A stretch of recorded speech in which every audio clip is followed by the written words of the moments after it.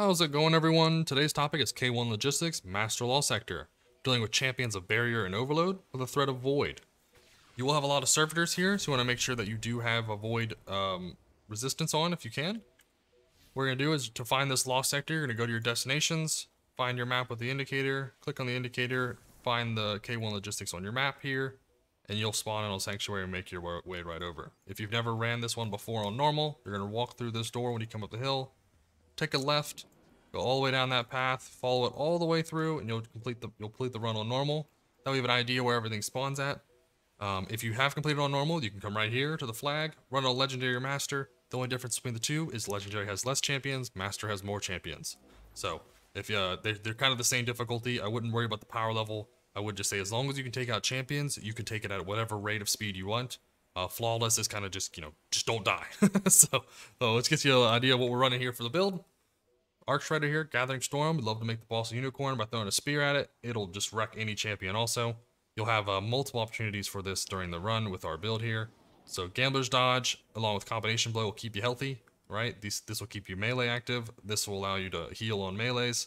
Um, so I definitely recommend this with Lethal Current. It allows you to jolt targets also. So if you don't want to use any weapons to take care of jolts, your class can do it for yourself. And these two will always be available um, as long as you kill people with some melees or dodge near targets. Um, as you're amplified, you, your abilities recharge faster. So um, definitely recommend these two together with your skip grenades, which will go into our Shino uh, Shinobu's Vow um, exotic, which allows multiple skip grenades and they recharge so quickly. So you can literally throw grenades all day long. Your grenades will jolt will shark will shock the when you get kills while amplified, um, which will be amplified all day long here as long as you you know jolt targets, which your grenades will do for you. You'll drop orbs. They'll they'll give you ionic traces for more ability, and then when you're in close combat, resistances uh spark resistance will give you 25% increase, uh 25% resist uh damage reduction. Sorry. We're running uh, Arbalest here for anti-barrier. Since we're running double special here, um, I'm running Arbalest. You can also run, um, if you wanted any auto rifle you liked. There's no specifics. You can run Centrifuse if you wanted.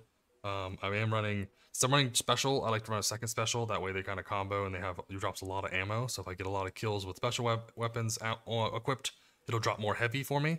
Um, but if uh, you can also run a Wish Ender if you like, or whatever you want to hear. They're, they're both, um, like Centrifuse and Wish Ender are both really good here. So all of them work. Uh, trace rifle, you can run a scout rifle if you if you like. If you don't like the um, trace rifle or you don't have one, that's not an exotic. You can run, you know, you can always run um, a trace like here. You can also run an exotic um, trace rifle if you want it, and then run a primary of uh, uh, auto rifle. You'll be able to take care of barriers, no problem. Heavy can be anything you want. There's no specifics for this run. Grenade launcher, rocket launcher, machine gun, uh, whatever your preference is. Definitely run it. Just make sure these two match together if you can, or whatever's to do the most amount of ad clear besides your utility uh, with your grenades and melee, um, that will match up with your arc siphon. So if or your siphon. So if I'm running two arc weapons here, my my siphon's going to be arc because if I use these to clear any ads or they happen to kill any ads, um, they're going to give me orbs, which will then go into my Shinobu's Vow for more grenades. Our build consists of 100 resilience for survivability, 100 discipline for more grenades, and then Ashes to Assets for ability uh, super uptime, and then Grenade Kickstart will keep our grenades going all day long. So the more grenade kills you get, means more Grenade Kickstart activate, or more orbs, which means more armor charges, which means more um, activation of Grenade Kickstart, which means more grenades. So you go back and forth in a full cycle, and you're just doing tons of damage with grenades. You'll be able to throw them all day long. Um, so it's, it's really, really nice. Double Void Resist, one Arc Resist, as you do take some Arc damage, but your, your main damage taken is Void Resist here. Um, if you wanted to run, if you're having issues, if you're having, if you're doing really well with the servitors, um, taking them out, then you could switch this to double arc. Uh, but again, it's all up to your preference.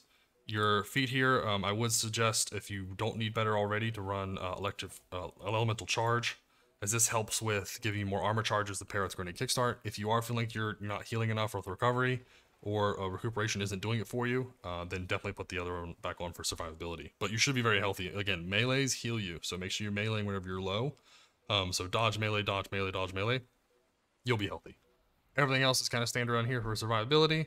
Uh, just make sure if you're using a auto rifle, you have it in your um, uh, build here for your artifact. And then other than that, we'll just go and knock this thing out. Enough talking by me. I appreciate all the support. You guys have been fantastic. Keep it going.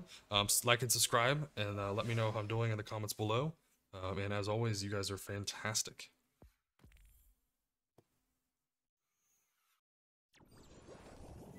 All right, here we go. You have two options. You can destroy this thing from far if you want with your rocket and Arbalest, or you can go left, destroy this top thing here. Once you do that, the jolt, sorry, you're gonna need to jolt the overload. He's gonna kind of go aggressive with you, so you want to make sure you have something for him. People will spam out grenades all day long with this build. Kind of gets uh, kind of fun where you don't have to really do anything as long as you just stuff throw grenades. So it's kind of nice. Gonna throw some grenades around, get some damage out. Let's see if I can, uh, I need to, what I need to do is get the uh, barrier to come to the staircase to the left. So I can easily uh, do some damage to it, so let's see if I can do that. Get him to, oh he dropped. Not what I wanted, but it's this, will work a little bit. Yeah, that actually worked a little better than I thought. Hmm. So usually uh, he will go to the left on the stairs, uh, but I guess this time he wanted to go down the bottom. So that worked out for us. We're gonna one over here, dodge, punch one of them. Once we punch one, we can sit here and punch all day and heal. Perks of having uh, being a hunter. We're gonna grenade this guy. Rocket, grenade here, and then what, we would recommend just punch, punch, punch to get our health back if we need it. That way this guy won't kill us and uh, we're in a good spot. You're gonna have uh, three to four of these shanks. Two on the right side here that can do some damage. The other ones you're gonna have on the far side. You can stun the overload if you like. Uh, you will have one overload coming aggressive, so I'd make sure you just you know have something ready for them, um, and just wait for the overload to get over here close to you. You don't want to uh, stun him on the bridge, as you want him to uh, get out of the range of any uh, shielding from the barrier. So preferably if you can get him right over here, it'd be a perfect spot. So, hello. Come on, dude. Don't want to stun you there, but I will. Yeah, I, got, I killed this guy really fast so he doesn't get his shield back. Yeah, just worry about the barrier. Um, with them being there, wasn't coming forward. Uh, the barrier right here can sometimes get him. Uh, we don't want that to happen. So what I'm gonna do is I'm gonna br break this shield we're just to give this guy a nice little spear and make him a unicorn. And then we'll, what we'll do is, uh, this guy should be finished off here. We'll go over here and deal with the overload now. Again, as your grenades, as long as they do damage, your Shinobu's Vow will activate. If you have orbs up, if you have uh, anything else available, like grab an orb, you can just literally throw this thing all day long. Right, you're not worried about it. If you never need a jolt, you can punch. If you don't have a trace rifle, you can always just uh, punch, punch, punch, or use a scout rifle. All work. Right? Saves you a lot of time. Uh, it's pretty easy just to run around and just grenade, grenade, grenade. You're gonna have one mob up front, and then after that you're going to have uh, an overload in the back. We want to just throw our grenade in the back, just take care of any mobs here, or uh, focus the overload. One of the two work. I do see there's a purple brick there, so I'm going to go ahead and shoot one of these off, as I know I'll be able to get my ammo back. Hey, another one. Awesome. So I'm not going to grab that one now. It will put me up to 7, and I don't... I, I, it would be max, but I want to come back for this one later. So what I'm going to do is get a shot off on uh, a uh, barrier that'll spawn. And then once I get that shot off, I'll be in a good spot. Let's get some damage off on this guy. What it's going to do is activate his barrier. Awesome. And I'm going to back up a little bit. See if I can get a shot off. Awesome. Finish that guy off. Perfect. So we have five shots left. So what it means is we go get that brick, we should be able to get uh, two more shots back as we need to. I have no problem throwing some ammo out. There's tons of heavy ammo all over the place. So I'm to go ahead and back here, grab this one.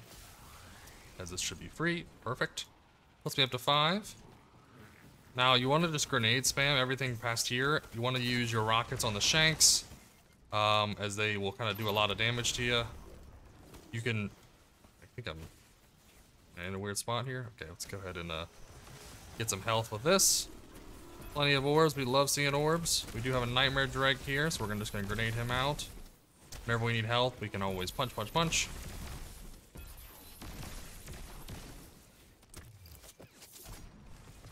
Perfect. I do want to kill all these mobs over here first before the boss gets phased out.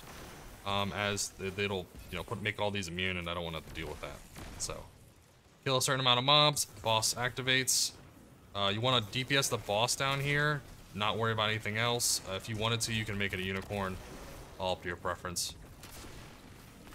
As he will teleport with it. He teleports with it and makes everything else over there die.